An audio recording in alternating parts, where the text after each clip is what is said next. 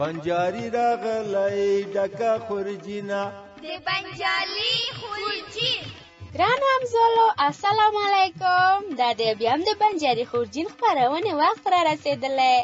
نو به داسې ده که چا وخندل یا یې حرکت وکړ نو لوبه بایلي خام زولو څه فکر کوئ چې سوی د کومې لوبې په اړه خبرې کولې د دې لپاره چې پوه شو نو د خپرونې تر پایه زموږ سره اوسئ خو ګورئ کیسه او نورې خبرې هم شته نو راځئ چې په ګډه خپرونه واورو سپوږمۍ خورې داسې ستړی شوم کاش داسې یوه لوبه وای چې په پټه خوله ترسره کېدای شاهده فکر نه کوم چې داسې لوبه به وي دې منډې وهلو لوبه کې خو څوک ډېر ستړی کېږي هو لالا زه هم ستړې شوم کاش یوه داسې لوبه وای چې څوک پکې نه ستړي کېدای صبر بنجاري ماما راشي له هغه نه به پوښتنه وکړو وا ماشومانو دا څه سره وایاست چې اسمو زما راتلو ته پام نه شو ستړی مه شې بنجاري ماما تاسو ستړي مشي نازولو بنجاري ماما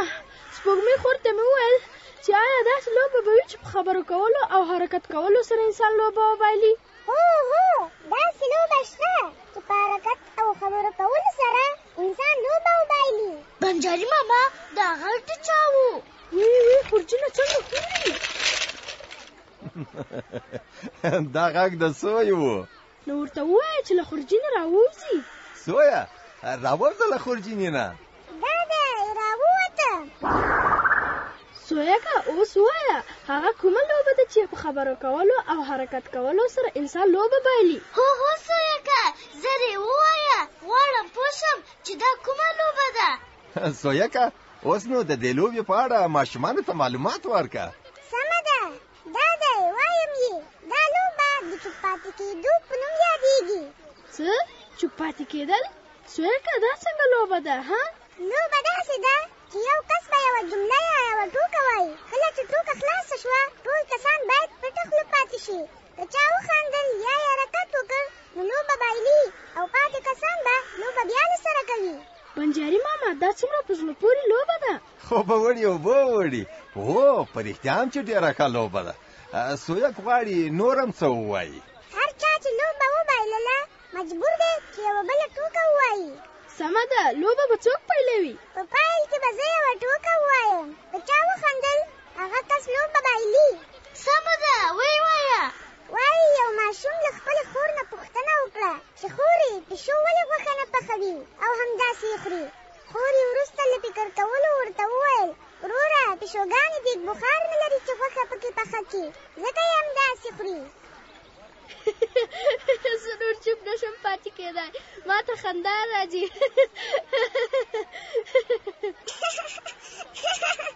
شاهد جانه لوبه دې وبایلله ما درته وویل چې که چا وخندل یا حرکت وکړ نو به بایلي هله شاهده اوس دا وار دی زر یوه ټوکه ووایه و شاهد جانه اوس ته له وپیل که بنجاري ماما صبر چې فکر وکم او ټوکه را یاده شي سمه ده فکر وکړه را یاده شوه وای یو ډاکټر له ناروغ نه پوښتنه وکړه چې تا ولې دوا نه ده خوړلې ناروغ ورته وویل نو څنګه مې خوړلې وای په شربت یې لیکلي وو چې احتیاط وکړئ او د بوتل سر همیشه بند وساتئ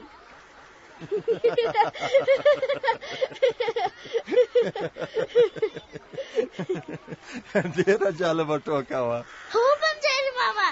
دا خو په رښتیا چې ډیره جالبه او په زړه پورې لوبه ده زما هم ډیره خوښه شوه ښه شوه چې دا لوبه مو خوښه شوه زه ځم بېرته خورجینې ته د خدای په امان اوس نو داسې وکړئ چې دا لوبه مو خپل نور همزولو ته هم ووایاست چې هغوی هم زده کړي سمه ده بنجاري ماما اوس نو تاسې ورځئ خپلو دوستانو ته زم درنه ځم د بلې کوڅې ماشومانو ته د خدای په امان په مخه دي ښه مسعوده بنجري ماما څنګه تر اوسه نه دی راغلی اوس به راشي همدا د راتللو وخت دی هغه دی بنجري ماما زموږ خوا ته را روان دی راځه چې مخې ته یې ورشو سمه ده درځه سلام علیکم بنجري ماما وعلیکم سلام ستړي مه شئ ناز راولو ته ستړی مه شې بنجري ماما بنجري ماما موږ ته د څه راوړي مسجانه څنګه خوښه دي ده چې د تیزو ویلو لوبه وکړو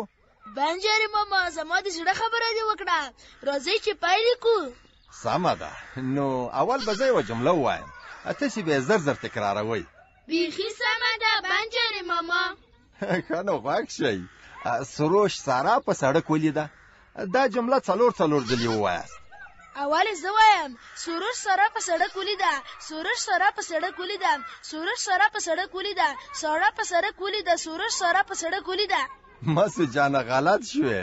ساړه نه سارا سروش سارا په سړک ولیده سارا اوس ما نوبت دی بنجرې ماما بیخي سمه ده ووایه نازه ولې سروش طرف سړک ولیده سروش طرف سړک ولیده سروش طرف سړک ولویده سروش طرف سړک ولویده خو به وړي اوبه وړي وایقې جانې تم غلطه شوې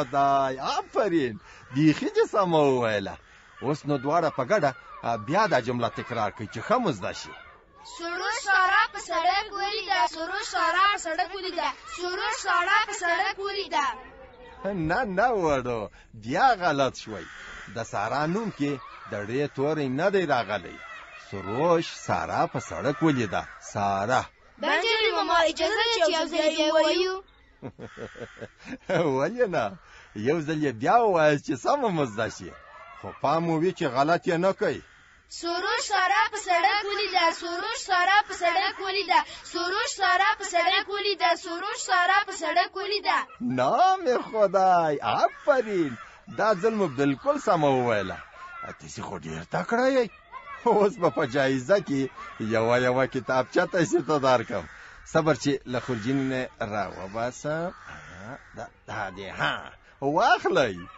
مننه بنجارې ماما له تاسو مننه اوس نو تاسو ورځئ دا جمله مو خپل نورو ملګرو ته هم وایاست او د هغوی په مرسته نورې داسې جملې هم را پیدا کړئ سمه ده بنجارې ماما ښه نو زه به واخلم خورجینه ځم چې بل کلی کې وړکي څه کوي نه زمری د شپېلۍ غږ دی لکه چې بنجاري ماما را روان دی هو مینی هغه دی مخامخ وګوره زموږ خوا ته را روان دی درځه چې مخې ته ورشو سمه ده درځه چې ورشو سلام علیکم بنجاري ماما وعلیکم سلام ستړي مشه نازولو ته ستړي مشه بنجاري ماما بنجاری ماما تلاوزر ښاپیرۍ چیرې ده چې کیسه راته ووایي پاس وګورئ سلام علیکم وعلیکم سلام ستړي مشي ښاپیرۍ ښاپیرۍ د سپین وزیر د کارغه د کیسې بله برخه راته وایې که نه درته وایم یې خو اول تاسو د کیسې تېره برخه راته ووایئ چې په تېره برخه کې څه وشول په تېره برخه کې کله چې سپین وزری کارغه خپلې ځالې ته راغی ډېر حیران شو ټول خواړه یې چا اخیستي وو هو سپین وزری ژاړي چې برګی راځي او د ژړا علت ترې پوښتي سپین وزری ورته وایي چې ټول خواړه مې چا له ځالې وړي هو شپه شي او سپین وزری سره هیڅ څه د خوړلو لپاره نه وي او همداسې وږی ویده شي سهار له کوره باندې لاړ شي او د ځمکې په سر ډېر غنم کروت او غوښه ویني هو سپین وزلی په منډه ورشي چې بیا خواړه را پټ کړي خو د باز ساتونکي یې ونیسي بیا څه وشول ښاپېرئ آفرین ستاسو خو ټوله کیسه په یاد وه اوس غوږ شئ نور یې زه درته وایم بیا داسې وشول چې ساتونکو سپین وزری کارغه خپل پاچا یعنې باز ته ویوړو او د ځنګله ټول الوتونکي او نور حیوانات هم د پاچا په غوښتنه د پاچا ماڼۍ ته ورغلل مشره دا دی غل مو پیدا کړ او ستاسو امر مو پر ځای کړ آفرین په تاسو اخر مو غل ونیوه او دلته مو راوست هو مشره ته خو زموږ مشر یې ستا خبره موږ په دواړو سترګو منو تا غل غوښتی و دا دی موږ هم غل پیدا کړ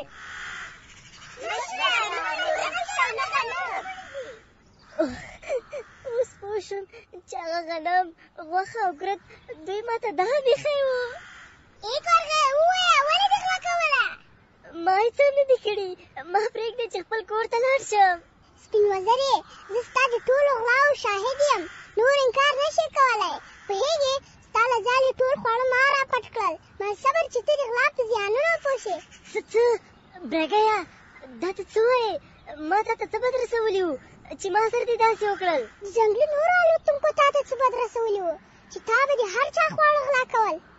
پاچا صاحب زه په خپل ټولو کارونو ډیر پښیمانه یم که هغه ما ته خپل کور کې ځای راکړ او برګې خپل خواړه را سره وویشل او ما ته یې کور راکړ خو ما تاسې ټول ډیر خفه کړی یئ د میږیانو د میاشتو میاشتو خواړه مې غلا کړي زه له ټولو بخښنه غواړم کاش چې خپله ګناه دې ومنله او په خپله غلطۍ پوه شوې پاچا صاحب که تاسې ما له دې ځنګله شړئ یا بله جزا راکوئ زه یې منم خو نور مې توبه کړې چې هېڅکله په غلا نه کوم سپین وزری کارغه زه دې له ځنګله نه شړم خو جزا به خامخا درکوم او ستا جزا به دا وي چې ته به د میږیانو سره خوړو راوړلو کې مرسته کوې ځکه تا د هغوی د میاشتو میاشتو خواري هېڅ کړه او بل دا چې موږ ټول سره ژمنه وکړه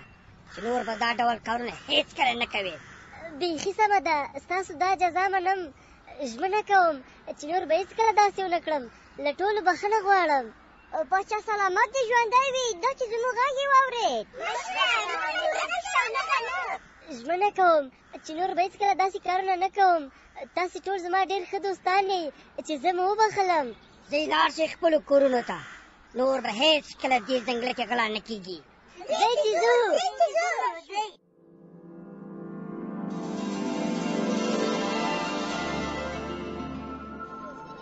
ښه شو چې سپین وزرې کارغه خپله غلطي ومنله خو او ژمنه یې وکړه چې نور به هېڅکله غلا نه کوي اوړو اوس دا ووایاست چې له دې کیسې مو څه زده کړل؟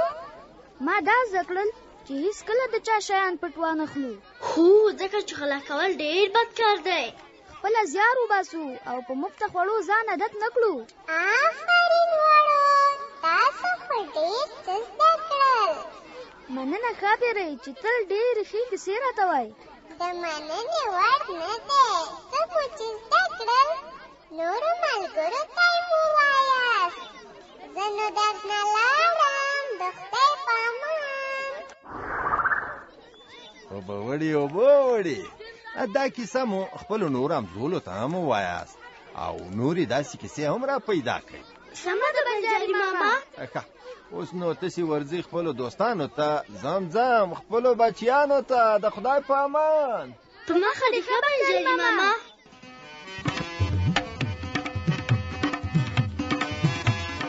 ګران همزولو د بنجاري خورجین د خبرونه چې تاسو اوریده د افغانستان په تعلیمي موسسه کې جوړه شوې وه زموږ دا او نورې ټولې ښوونیزې خپرونې په انټرنیټي پاڼه تجلا ټکی ای اف کې لوستلی او اوریدلی شئ تر بلې خپرونې مو په لوی خدای سپارم الله مو مل شه